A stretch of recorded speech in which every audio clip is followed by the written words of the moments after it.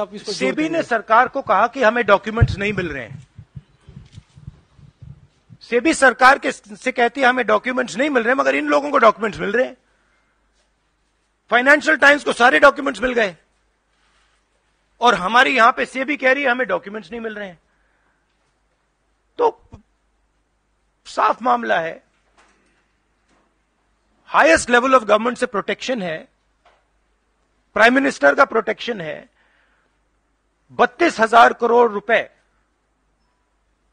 Clearly proven है। इसमें मतलब ये प्रूफ है। इसमें ये मतलब ऐसे नहीं बोल रहे हैं। सारा डॉक्यूमेंटेशन है इनके पास। मगर कोई एक्शन नहीं।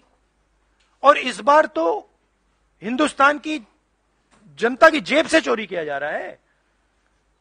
बिजली बिल जब आप जब आप पंखा चलाते हो, गरीब लोग पंखा चलाते हैं ट्यूबलाइट चलाते हैं तो याद रखिए जब आप बटन दबा रहे हो, जैसे ही आप बटन दबाते हो, ये जैसे मैंने अभी ये स्विच दबाया, वैसे अदानी जी के जेब में पैसा जाता है।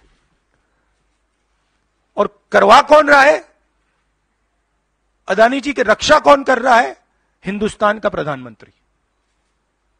तो याद रखिए, हिंदुस्तान का युवा अब याद रखिए, जैसे ही आप स्विच दबाते हो चाहे वो बल्ब हो, पंखा हो, बिजली का पंप हो, याद रखिए, अदानी जी के जेब में सीधा पैसा जा रहा है और अदानी जी की रक्षा नरेंद्र मोदी कर रहे हैं।